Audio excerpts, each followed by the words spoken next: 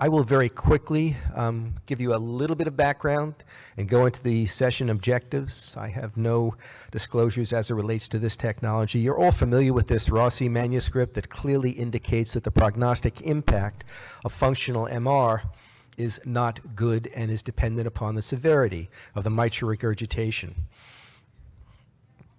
You're also familiar with the Duke database indicating that we generally just don't treat functional MR. If you look at all patients, this is 1,500 patients with echocardiographic evidence of 3 or 4 plus FMR and, and an ejection fraction over 20% in patients not undergoing coronary bypass surgery, slightly over 10% of the patients get treated. So this is severe MR, low ejection fraction. These are symptomatic patients. They don't get treated. So that really is the state of what the control population is. I also found this study very interesting. This is the Cleveland Clinic study in over a thousand patients that have three or four plus MR, both functional and degenerative, treated before 2011. In the DMR patients, 85% get surgery. In the FMR patients, 36% get surgery. This is the Cleveland Clinic. This is what they do. They do surgery. And of the patients who had surgery, more than three quarters had it in the setting of coronary bypass surgery. So it was kind of a pass through in patients with ischemic cardiomyopathy. So two thirds of the patients get medical therapy, even at the Cleveland Clinic, when they have um, clinical heart failure and severe mitral regurgitation. And when you look at the prognosis of those untreated patients, you can see at five years, well, 50% are dead and 90% um, uh, have been either in the hospital or have died. And interestingly, when you look at those patients and review their echoes, more than a third had echoes that would have been eligible for things like the MitraClip. And frankly, if the Cardioband were available, I would estimate that at least two-thirds or more would be candidates for the Cardioband. So it's an interesting opportunity in terms of how we might consider getting into the FMR space with a transcatheter technique. Um, this slide we came up with many years ago. It's now become um, as topical as it was. We're still struggling about repair versus replacement. Are they competitive? Are they complementary? And we'll continue, I think, to struggle with this. There aren't too many randomized trials to look at. This is probably the best. This is the CTSN Networks um, a study from Acker, the update recently published with the two-year outcomes. It's a fascinating study in many respects. I'm not going to go into the details. We don't have time. But the point was that repair and replacement were essentially equivalent as it relates to the primary endpoint at one year, which was median change in LV end-systolic volume index. But there was a lot of recurrence in the repair, uh, 33% by a year, as you can see here. But even though there was that degree of recurrence of significant MR, there were no important changes in a lot of the clinical and other parameters that you look at, and certainly things like death and MACE, there were no differences. I would argue that maybe we can do better. I mean, we've always said we want to do a procedure that's like surgery. I think we began to start thinking that maybe we should consider the transcatheter procedures potentially can be better than surgery. And during the course of the next hour, we can talk about why this form of direct annuloplasty potentially could be better than surgical repair. So we are going to focus on this one device, the Cardioband system. It's a percutaneous transeptal supraannular adjustable aortic valve annuloplasty ring, as you can see, as shown here. The advantages, potentially, we think, are that it is safe, safe, safe. Working in the atrium, we've learned from the MitraClip experience, is pretty safe in the hands of good operators. So it's a percutaneous transeptal access approach. It is a somewhat custom anatomical, surgical, or surgery-like annuloplasty. There's bidirectional adjustability, so you're not going to over-cinch and create gradients and mitral stenosis. It leaves open other transcatheter options. You can put a clip, you can put a valve. It doesn't really disturb the anatomy in such a way that you can't do other things, which I think is important in this era of a toolbox approach and sequential multiple different therapies that may be appropriate in many patients. And I think there's a really predictable, effective training program. Um, and we'll talk about that during the course of this morning. So the objectives of this session are to review some of the clinical controversies that we've been talking about in both mitral and tricuspid regurgitation, to discuss transcatheter treatment alternatives for MR and TR, but to focus on the Cardioband, clinical use possibilities, procedural technical considerations, clinical results in the CE trial, and single center experiences, the importance of echo guidance, physician training, and applications for tricuspid regurgitation. and talk a little bit about what the surgical standards are. Great, thank you, Marty. Of course, Marty didn't say of the superb faculty, Marty Leon also is here. And so, welcome for surgeons. This is great, right? I've already started operating this early, so I'm, I'm kind of used to this early morning. Um, these are my um, disclosure statements. So obviously everybody knows the mitral valve is very complex uh, and there's more to it than just aortic valve that we're used to. This video is not working, but you see a, a multitude of um, different parameters that are used uh, in order to fix a mitral valve. And as a surgeon, there must be 10 or 15 different ways uh, that I can fix a mitral valve. Um, and it's not just a replacement of the valve. So there's a lot of different things. And I think that Cardioband is going to become one of these many important tools that we're going to require in order to, um, to fix the mitral valve. So of course there are different uh, types of, um, uh, of uh, mitral uh, regurgitation that was um, defined by Carpentier many years ago. Uh, and what we're talking about, you know, when, when you talk about degenerative mitral regurgitation, there's a variety of different spectrum. And we have a lot of tools to fix these. You can see uh, from, a, from a surgeon's point of view, we have a litany of different ways to fix these. We do cords, we do resection, uh, we do cords and resection. Um, there's uh, all these annuloplasty type of different things that we have. The spectrum for functional mitral regurgitation actually is less defined. Um, and for the most part, we have two therapies for it. Um, and there are newer ones coming up like papillary muscle slings. But for the most part, we use an annuloplasty ring, um, a restrictive annuloplasty ring, or we use um, a mitral valve replacement. But really, the FMR is a disease of the left ventricle, not necessarily of the mitral valve.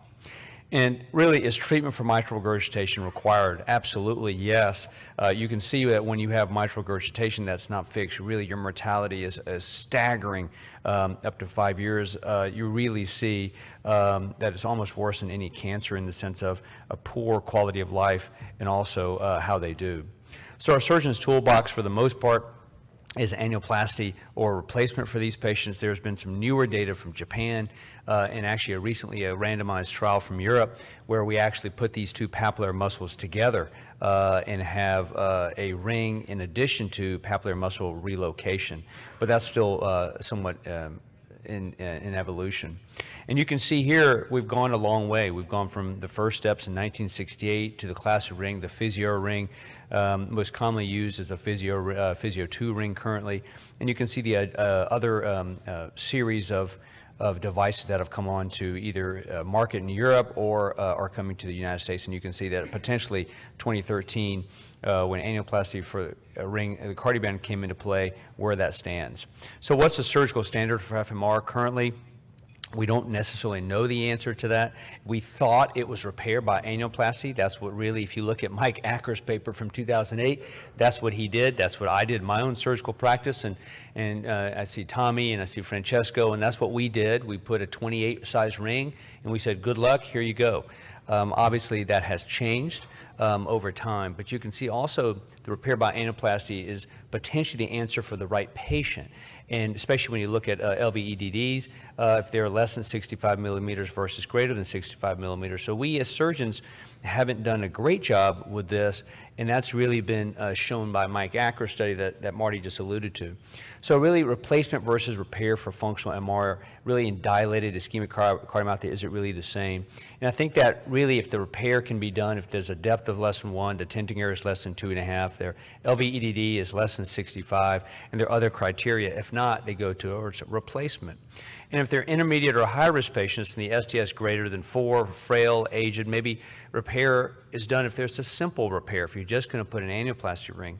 But if you're going to start doing papillary muscle relocation and a ring, and they have a multitude of comorbidities, then most surgeons are going to replace those patients.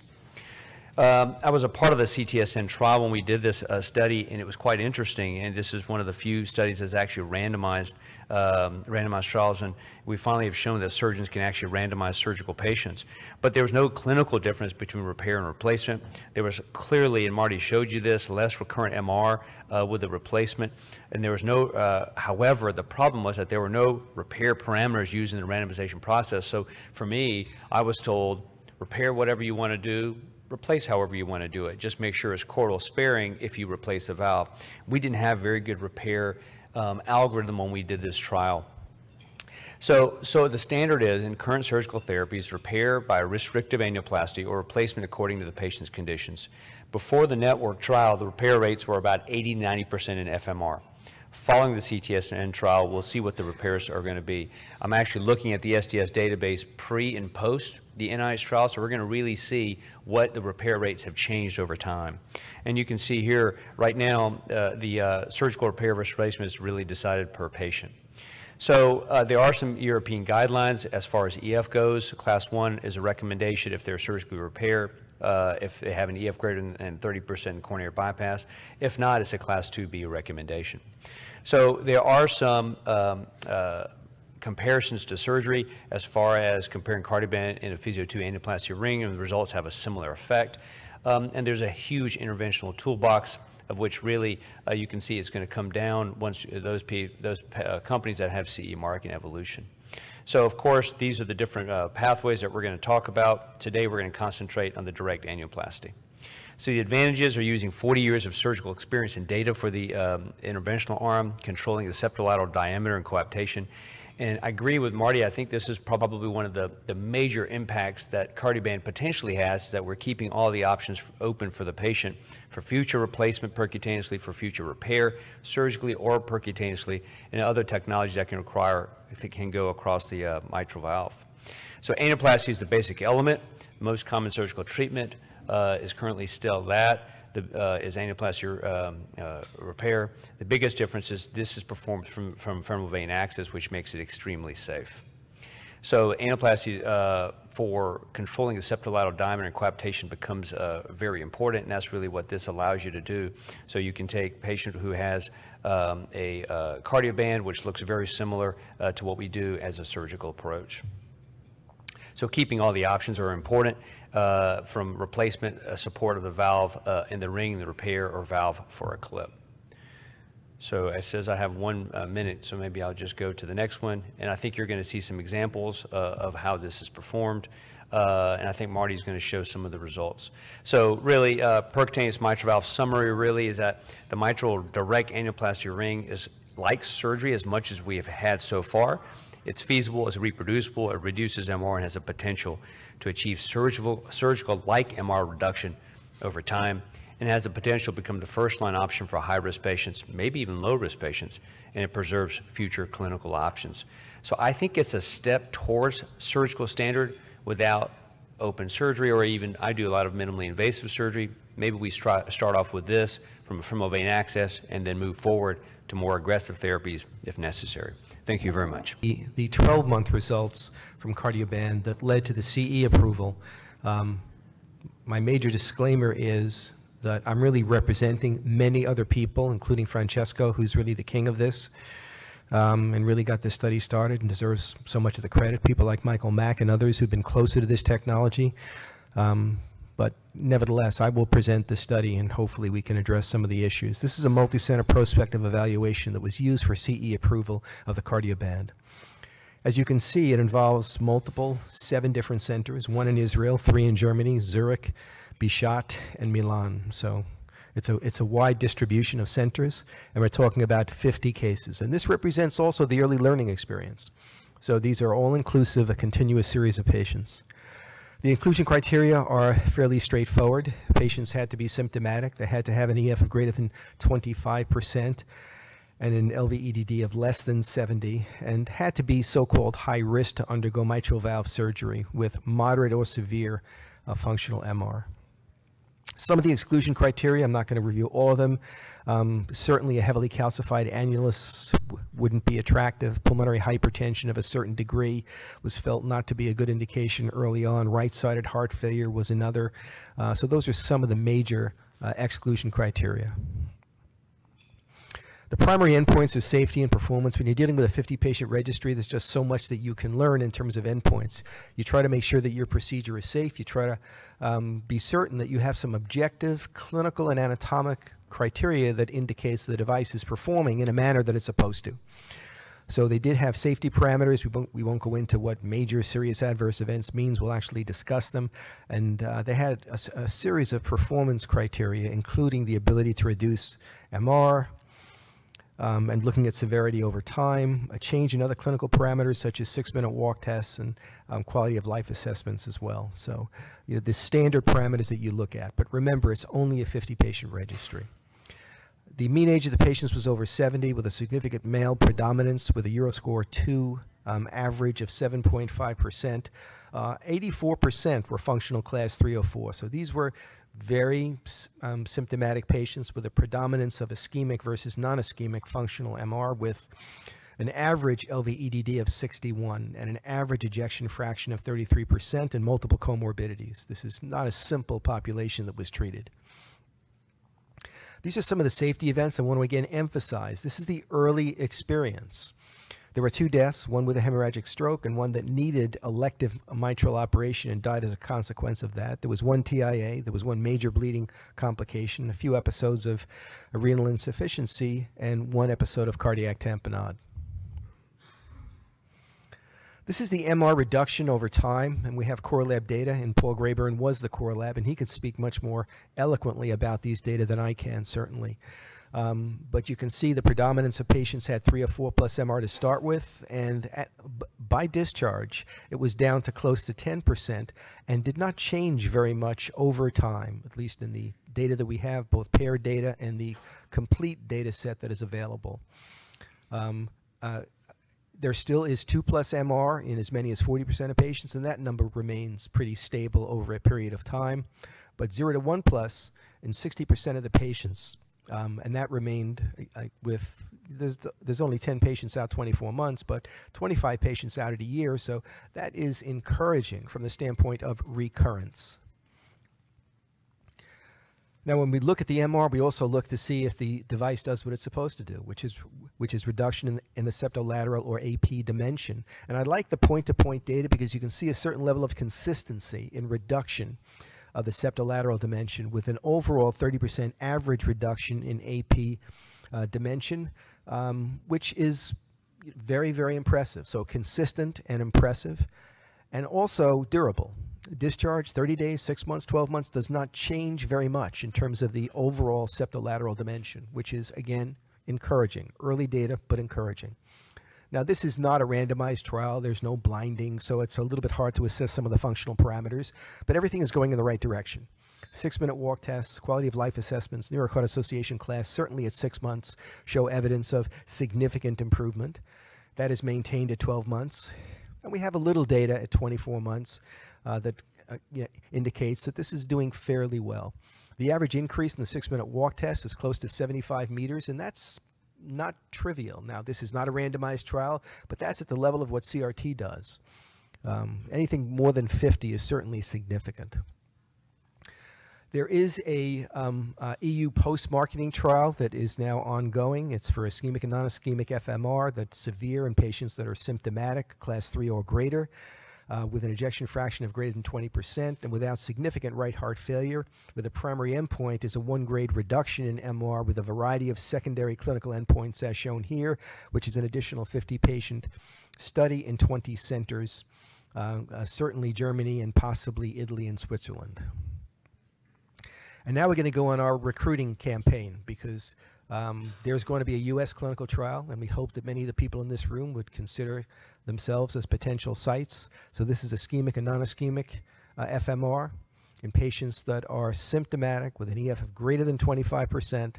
Uh, the control arm here is going to be optimal standard of care. You know, we can spend a long time discussing that. Um, it is going to be a randomized trial. This is um, a study that um, ultimately will be, be presented to the FDA. It is not going to be a COAPT clone study. It'll be a different trial design than COAPT with a composite clinical endpoint. Um, also, um, certainly having to, in addition, demonstrate significant reduction in MR with an estimated trial size of about 400 patients. So I, I, think that you know these data demonstrate that transcatheter surgical annuloplasty is feasible that the safety profile, it's only 50 patients, but it's encouraging, especially since it's the early learning experience, seems to be equivalent to other transcatheter procedures that operate from an atrial vantage point. Significant, consistent reduction in septolateral dimensions, significant, consistent reduction in mitral regurgitation, And the nice thing is that it does leave options open for the future in terms of being able to work around this ring in terms of either MitraClip or replacement or whatever in those patients that don't achieve either the anatomic or clinical benefits that we would like to see.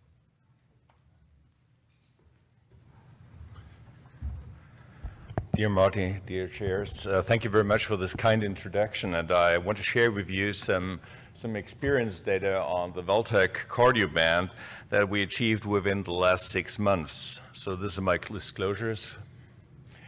Uh, when we talk about mitral valve regurgitation, we see in the first talk that we have to clearly differentiate between degenerative and functional disease. Functional disease being a very predominant disease in Europe, and we've seen that in the German Heart Report in 2015 that the prevalence of patients aged 80 plus has increased from 2000 to 2014 by 93%. So there's a huge uh, patient load. Also in the German Heart Report 2015, the number of percutaneous therapies, being on the Alfieri edge-to-edge therapy and annuloplasty, has passed surgical uh, repair volume in Germany for the first time ever. So what are the different approaches uh, to the mitral valve in this disease? So we have possibility of a stitching technique, of ventricular remodeling, not all very successful. We have the Valtech um, approach, which is a direct annuloplasty, and we have a CE-marked um, coronary sinus approach. So just to give you an idea about the possibilities that we have in visualization and planning of these procedure, you can see here in these uh, three different aspects that we of course have to use CT planning in order to elucidate both hinge points, coronary sinus location, and circumflex artery, but it's also very important to have excellent image data throughout the procedure, as you can see in the upper left. We do in Mainz for all patients a CT pre-planning and a CT post-procedural control with those patients. And as you can see in the lower part, you get an excellent alignment of all different anchoring screws, which replace the sutures surgeons would normally do in these procedures. You can also see in this slide here the effect of chinching, which is traumatic. From the upper part, and you've already learned that the chinching effect is about 25 to 35% uh, in these patients using a percutaneous technique, which very nicely approaches actually surgical results. On the upper right side, you see the control of a patient with a CRTD system. And of course, there is no involvement of the CRTD system within the coronary sinus and the direct annuloplasty. And we're also able to achieve very excellent results, putting patients down to mild or trace MR with Cardioband alone. Sorry, Marty, that I have to replace the slide a little bit because you left Mainz out. And I just want to give you a slight overview over the European experience there. So we achieved to do seven procedures, one of which is within the CE study uh, within the last six months.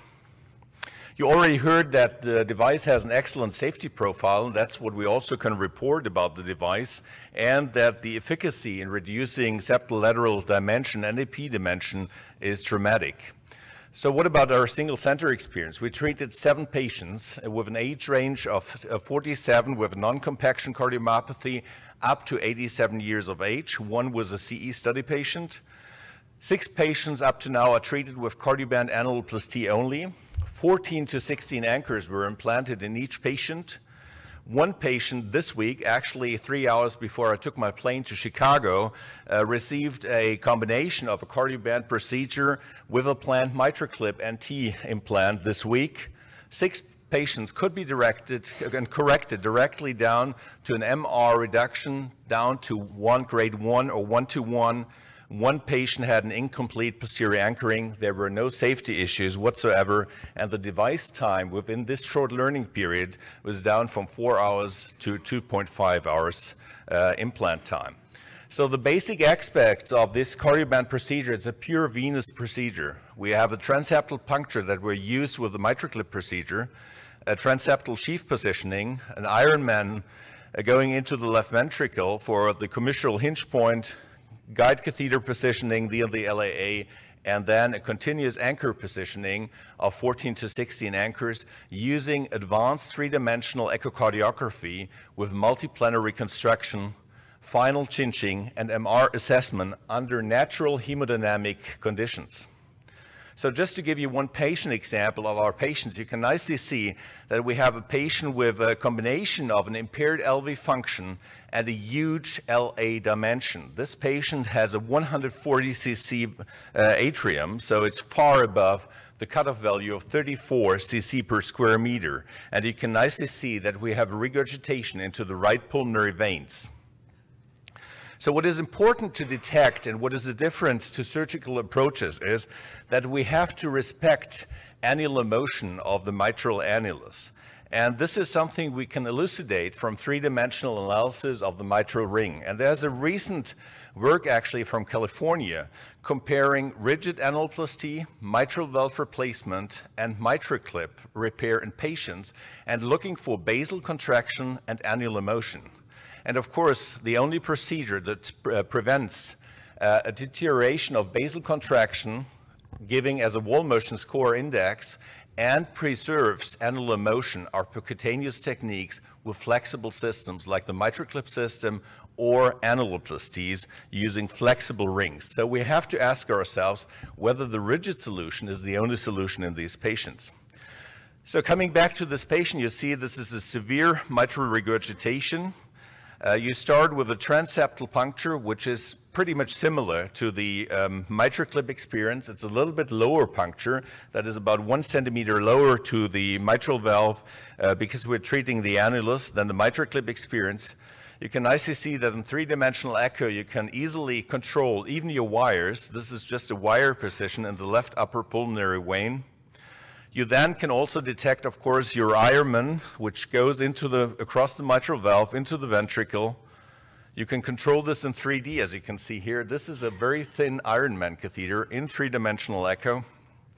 You position yourself next to the hinge point, and here you can see that we're easily able to see the coronary arteries, the, the um, um, coronary sinus. We see the hinge point here. The catheter is too much into the mitral leaflets, so you will reposition this catheter by about three millimeter to the outside, and then you will start anchoring.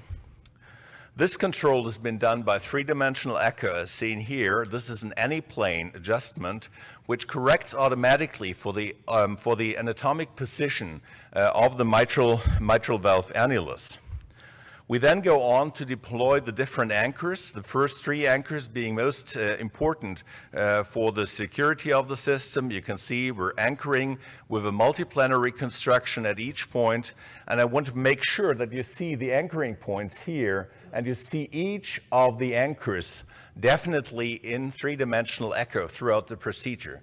And you can also control for coronary sinus and vessels, which is seen here. So it's a very easy and it's a very, very good controlled procedure if you use three-dimensional echo. You see a complete ring situation here encompassing about 75 to 80% of the ring anatomy, of course leaving out the aortic root.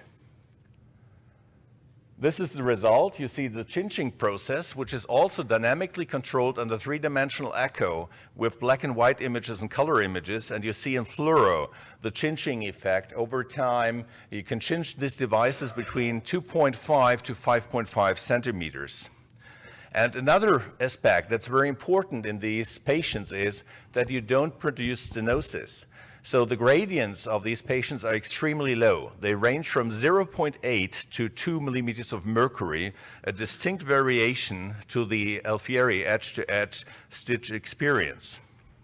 And you see that these results are excellent over time. So this is a pure cardioband procedure with zero MR after the procedure. There are also some new approaches. And this Wednesday, just prior to taking the plane, which was some adrenaline stress for me, uh, I did the combination of a cardioband and the MitraClip NT system, which is implanted uh, first in man in Mainz on Wednesday. And you can see that this also produces excellent results. This was a patient with a 5.6 annulus dilatation. This patient was very young, 47 years, and he had a non-compaction cardiomyopathy, not qualifying him for a HeartMate implant. And you can nicely see that you can easily control this, both in fluoro and echo three-dimensionally, do the grasping process three-dimensionally. You put in two clips, and you see we get an excellent result of trace MR after this procedure. So my take-home messages are, as with Marty, percutaneous direct annuloplasty is feasible. It's a safe procedure with a steep and fast learning curve. CT planning of the procedure is vital. We need to look for the landing zone, size, circumflex anatomy, coronary sinus. 3D echo and echo quality is pivotal and vital for, and allows for direct virtual control throughout the procedure. MPR flexi slice or multiplanar reconstruction, like in CT, allow us to control position and angulation for each anchor live during the procedure. Cinching effect and Alfieri technique can be combined in severe dilatation in a surgical-like approach. Thank you very much for your kind attention.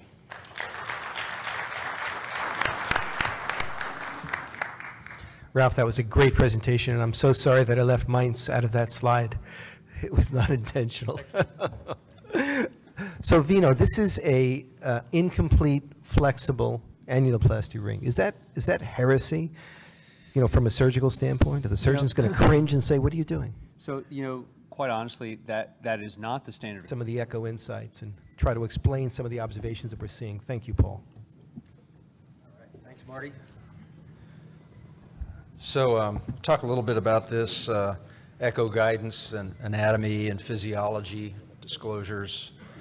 Uh, you've seen the procedural steps, uh, pretty straightforward, transeptal puncture, then putting the um, system in. And then, uh, as you saw uh, from Stefan's talk, you implant these um, uh, anchors. Uh, I'll show you a little bit of that. And then the last uh, step, once the anchors are all implanted, is to put in the cinching tool and cinch this up. Uh, you know, regarding the last comments by, by Vino, I think the difference here is that this is a physiologic repair. The surgeons are limited to doing an anatomic repair because you, there's no volume and no pressure in the heart. Uh, it's stopped. And so you're doing an anatomic repair, you're using a sizing device. This allows you to actually size the annuloplasty in motion in a beating heart. And I think maybe that difference between a physiologic and an anatomic repair may turn out to be why this works so well. I think everybody knows how to do a transeptal puncture, but these slides uh, are really good because they show, you know, a, a, a 40 or a, a CT image on the left and the SVC, IVC, that uh, blue line there represents the bicaval view so we can really see if we're caudal or cranial uh, in, in the fossa. Uh, by looking at the echo there, uh, we can then switch to a short axis view which really cuts through the aorta there and lets us get uh, more posterior. There's a tendency for the needle uh, to want to go this way and you really except in a few circumstances, don't want to go there. Uh, and then, of course, the four-chamber view cuts more or less this way through the CT scan and allows us to look at, this is more for the MitraClip, look at the height. Uh, but the, uh, after we do the transeptal puncture, and you've seen this, the next step in the echo guidance is really to, to put these anchors. And when one looks at the 3D, you can see right here, you beautifully see the annulus. Uh, you can actually see the lateral and the medial uh, trigones here. You're really going to aim for the lateral trigone to start. And not only do you use 3D, but as you've just seen, you use the 2D as well to make sure you're not putting your anchor through the leaflet or too far behind the actual annulus. And I've seen all these echoes from all of these implants, and the whoever's guiding this by TE, every single one of these guys is doing a fabulous job. Uh, and uh, so then, then the anchor goes in here, and this is basically a six millimeter long screw uh, that goes in. And this is just an example of watching the screw go in. So this is the first anchor uh, going into the lateral trigone. Uh, it's really not hard to do. You basically make 10 turns with your right hand on the screw. It goes in, and you tug on it to make sure it's good, and then you, you release it. So this is sort of just a quick uh, show of that. This is the same image I showed you in motion of the first uh, anchor going in, and typically you're going to put, you know, 12 to 16 of these in, depending on the size of the annulus, uh, which is determined by CT scan, and then one begins to cinch. And so you can see where it looks like this at the start.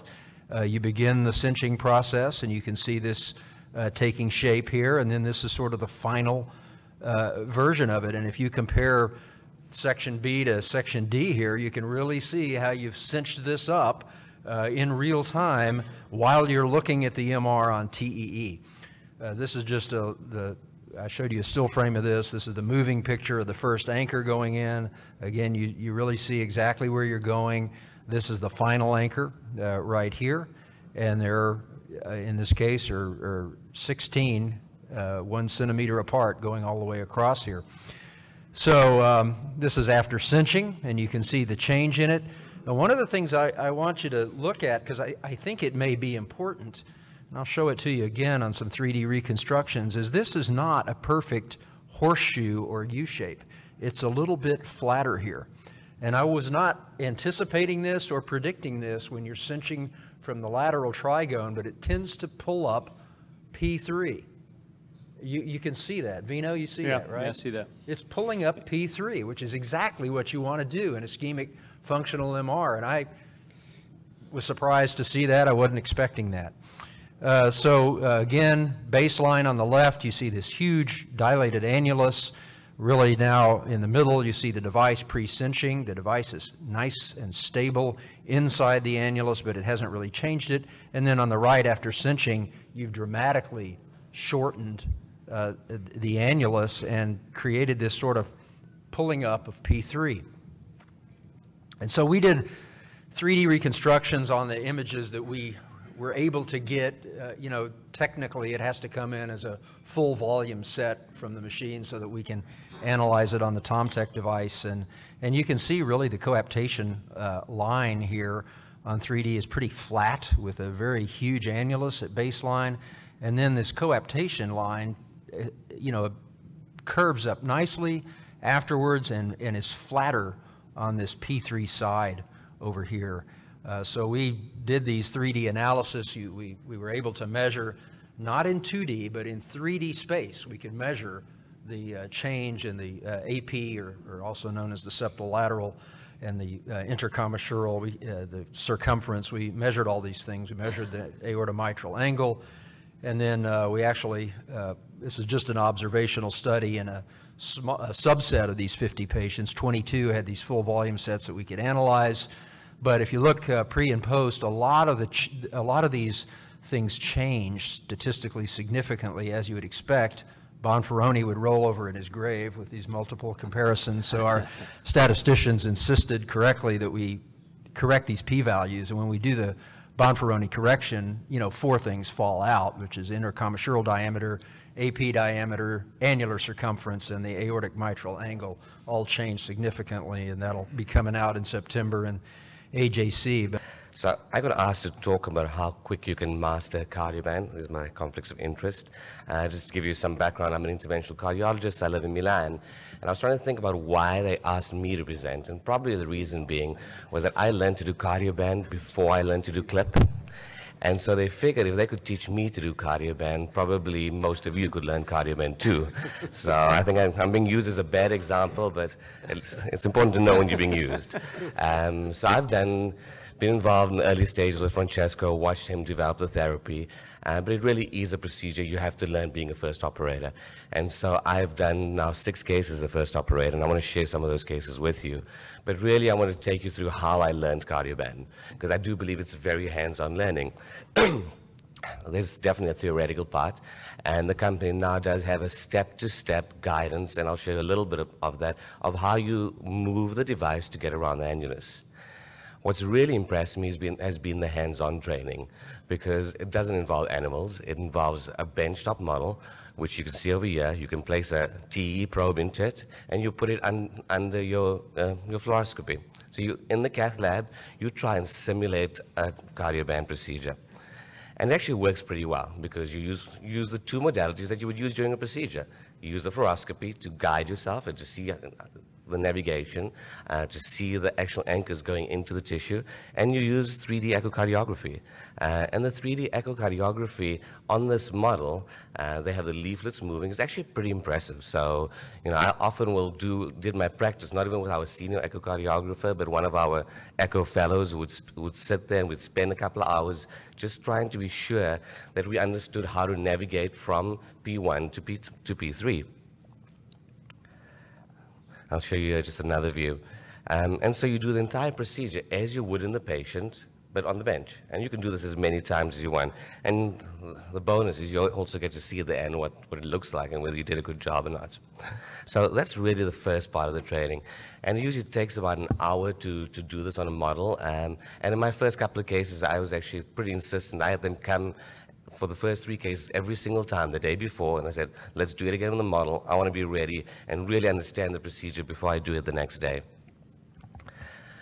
I think what's been made it really predictable is the fact that we now can tell an operator, an operator can understand exactly what the different parts of the device do. So it may look pretty complex in the beginning, you know, because there's a transseptal sheath, there's a guiding catheter, there's an implant delivery system. The three move slightly independently of each other, but I think the movements are now fairly, fairly predictable. And what we're able to do is to give a roadmap to a physician beforehand saying, okay, well, you're going to start your procedure on the anterolateral commissure, and you're going to need to navigate around P1 implanting these anchors. And it's become pretty predictable where you can actually say that in 90% of cases, this is exactly what you can do step by step. So it'll be akin to flying a plane. You know, you could open a book, read it, and go step by step. If I follow those instructions, I should arrive from point A to point B.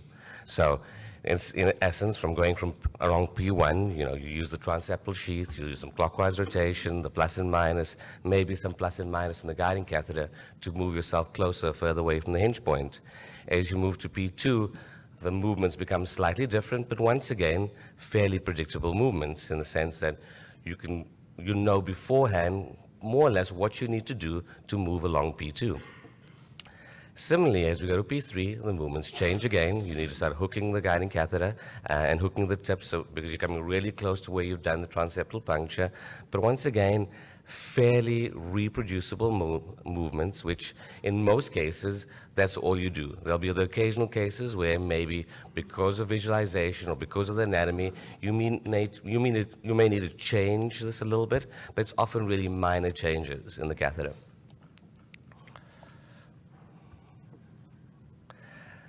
So I think the other thing that really makes this procedure successful, other than the device being successful and very predictable, is the, is the procedural support. So I did all these six cases with Tomer, uh, one of the Valtech engineers, and I say his name because I want to give him credit.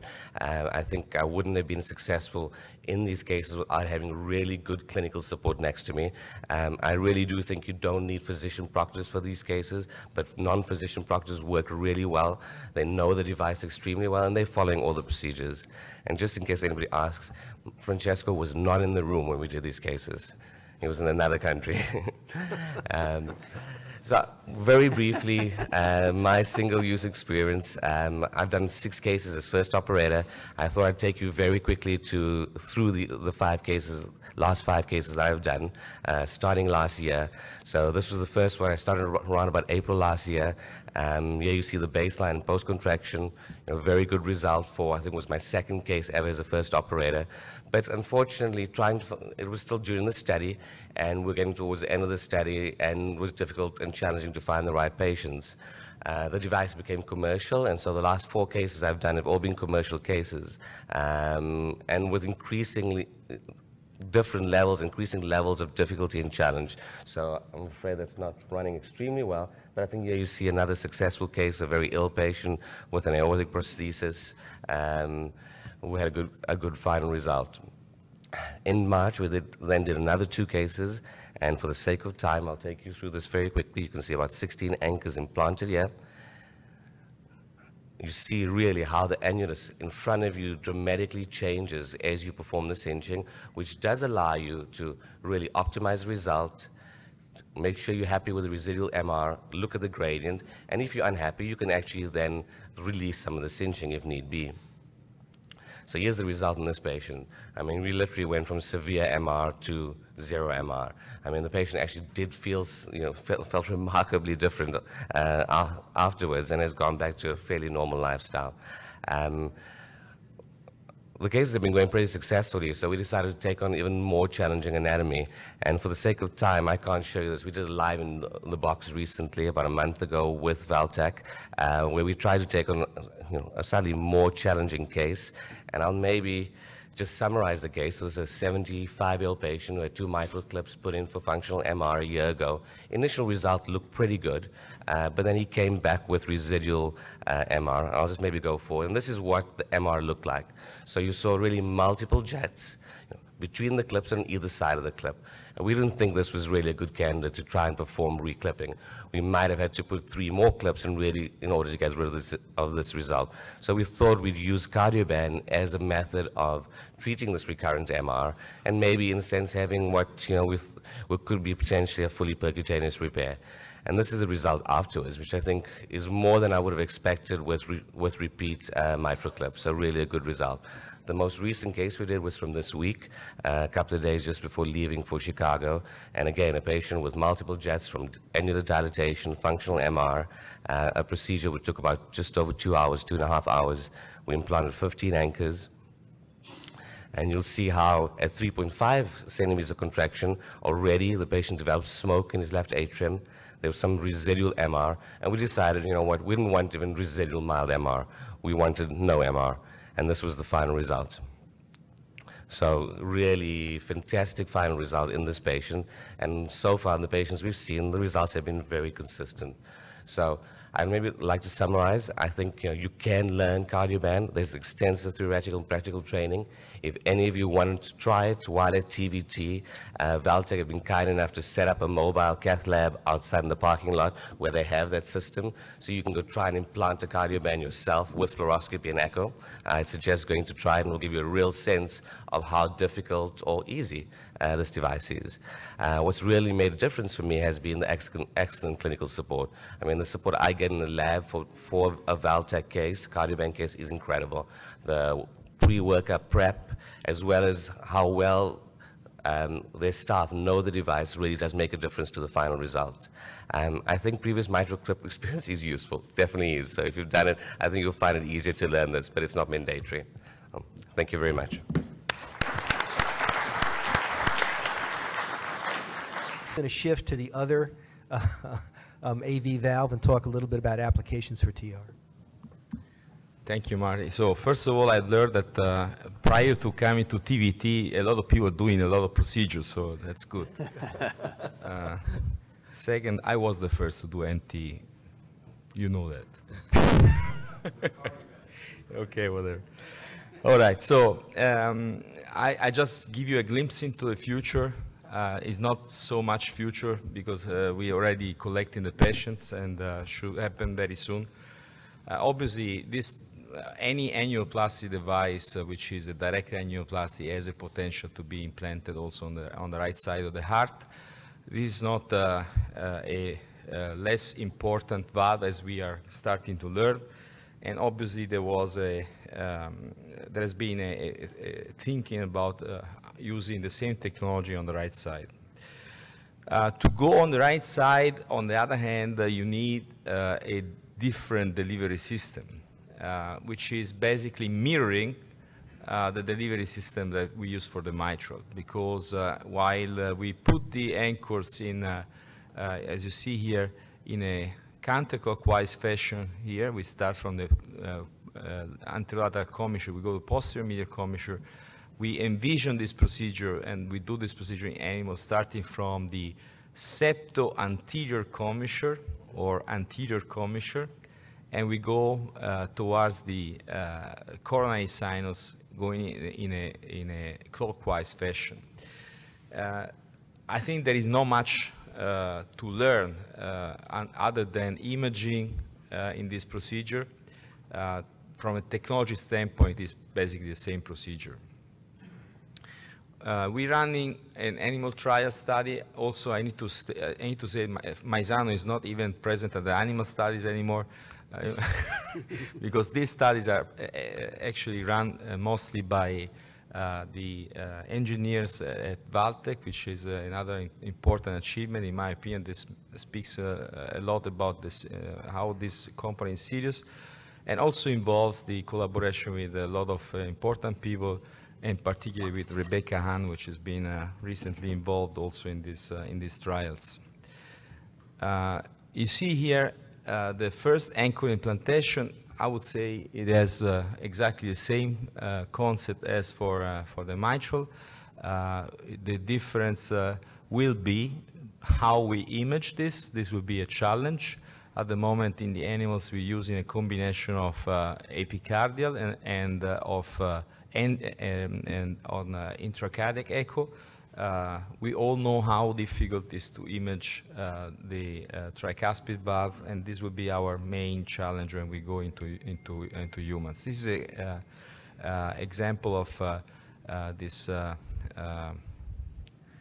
first anchor implantation with a pull test. Pretty nice images. These are the anchors implanted before and after cinching.